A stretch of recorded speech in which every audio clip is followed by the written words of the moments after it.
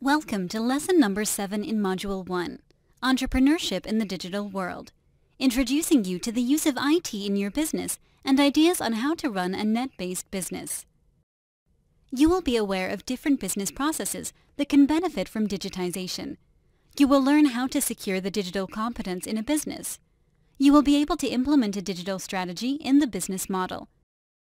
Information technology, IT, is important when it comes to understanding the market and the competition. Use the web to keep an eye on customers and competitors, understand trends and changes, opening up new business opportunities. Find and copy winning business models, both in your own domain and from totally different sectors. Transfer concepts from other entrepreneurs to create your unique position in your part of the market. To be competitive in the digital world, you need to master the use of digital automation, robots, artificial intelligence, cloud services that give your business cost-effective business processes, a chance to meet the needs and behavior of your customers, switching from the perspective of opening hours to an around-the-clock customer service and presence. In the digital world, you don't need to have all competences under the same roof. They're just a click away. Online networking and building relations with people you can trust is crucial for your business, both in terms of survival and growth. Identify the social media channels and online networks. There you can find the colleagues and partners your business needs, and build a strong and long-term relationship with the ones that can contribute to your business and its value. It's not only colleagues and partners you need to identify and build a relation with.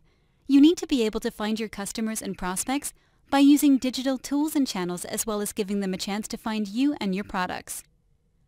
Learn how to use search tools and social media in order to find customers.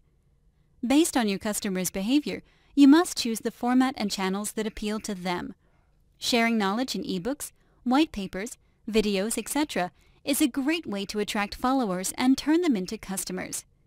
By using different formats, content, schedules, so-called A-B testing you will be able to find the most effective way to reach your customers. The last five years, the trend of something as a service is very clear. Things that were sold as products have turned into service-selling models. Software as a service was the start, but now we can see it in a number of domains. Not at least 3D printing have turned businesses upside down. Selling blueprints and design tools and let customers produce their own products. Turning from an industrial period into a knowledge-based economy has also opened up for many new ways of selling knowledge as a service, as Real Project is one example of.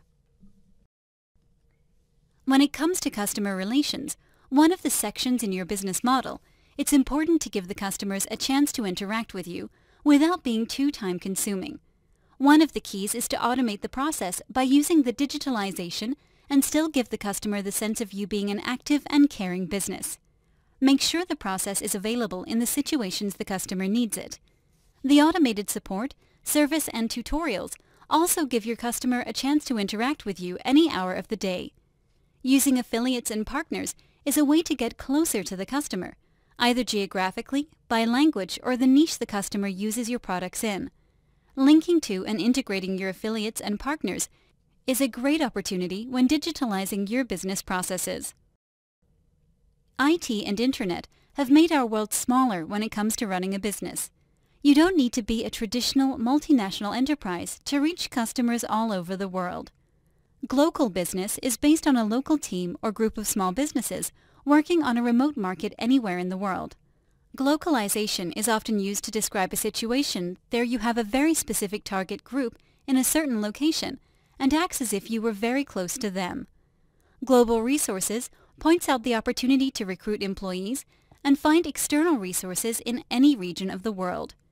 With IT and Internet, you can bridge almost any distance and country border, but check the legislation and rules for the market you're approaching. The freedom of being a digital entrepreneur is that you can work anywhere, if you just have access to the Internet. Find the customers you want to have wherever they are. You don't need to be a globetrotter but you need to have a mindset that sees the opportunities that appears in the global perspective.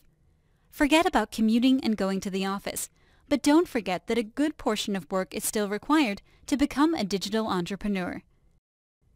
After this lesson, you should now be able to identify, business processes, services, and products that can be supported and further developed with the use of IT. Reflect on the skills and tools you identify as required and think about how you can reach the relevant resources for your business over the net. We wish you good luck in the digital world of business and entrepreneurship.